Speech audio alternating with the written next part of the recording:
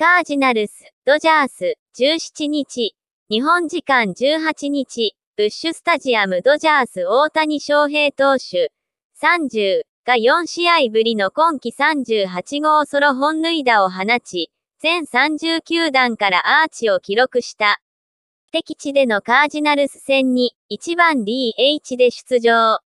5回の第3打席で右翼へ運んだ。カージナルス戦での本塁打はメジャー通算209本目で初めて。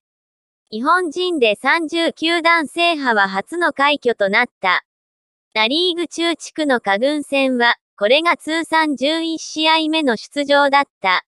ブッシュスタジアムでの本塁打も初で、これで28球場目となった。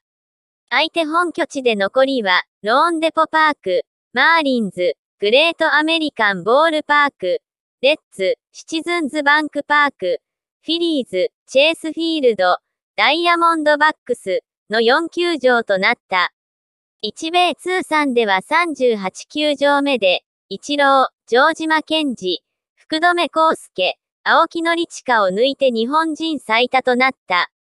7月は月間6本にとどまったが、8月に入ってからは15試合で6本と量産体制に入っている。チーム124試合目で38号はシーズン49-6本ペースで、初の50本の大台到達も現実味を帯びている。盗塁数も37に伸ばしており、史上6人目の40本塁打 &40 盗塁。